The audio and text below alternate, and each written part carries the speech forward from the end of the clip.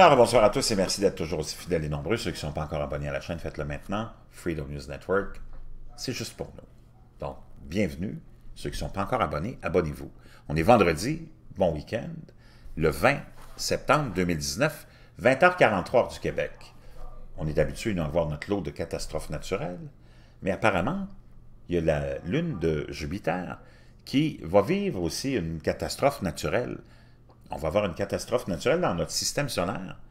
Euh, et ça va être imminent. On parle de septembre, hein, de cette explosion du plus gros volcan hein, du système solaire, qui est sur cette lune de Jupiter. Des scientifiques du Planetary Science Institute ont affirmé qu'une éruption du plus grand volcan satellite de Jupiter devrait se produire dans les prochains jours. Loki, le plus grand volcan sur la fameuse lune de Jupiter, sur le point d'entrer en éruption, ont déclaré des scientifiques du Planetary Science Institute. Ils ont fait cette conclusion après avoir observé le corps céleste dans la période entre 1988 et 2000, a informé le portail Science Alerte. Initialement, le cycle d'éruption du volcan Loki était de 50, 540 euh, jours.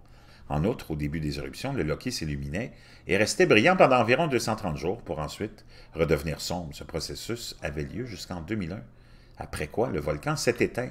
On peut voir ici la fameuse lune et le volcan avec son, sa lave hein, euh, en fusion qui devrait nous donner à n'importe quel moment une euh, éruption volcanique assez spectaculaire.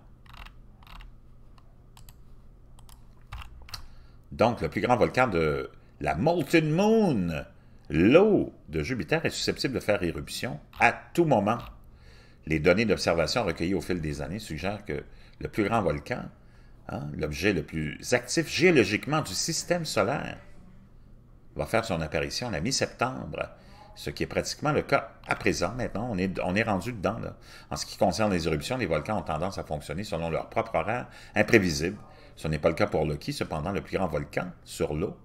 Lorsque cette chose souffle, ce qu'elle a tendance à faire régulièrement, elle représente 15% de la dépense thermique totale de la Lune. Ce volcan de 200 km de large est si puissant que les astronomes peuvent observer ses crises à l'aide de télescopes au sol, ce qui en fait le volcan le mieux étudié sur Terre.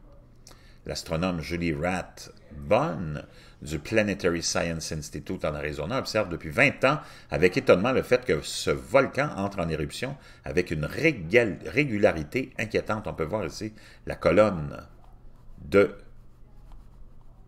cendres et de fumée, j'imagine.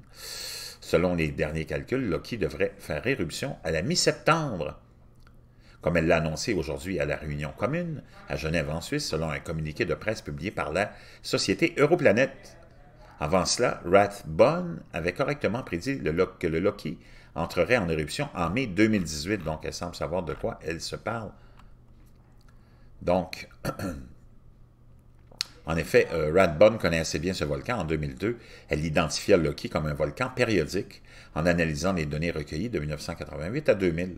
Elle a constaté que le géant en forme de fer à cheval avait éclaté environ 540 jours plus tard, mais ensuite la Lune, fidèle au dieu Philou, qui lui a donné son nom, s'est éteint.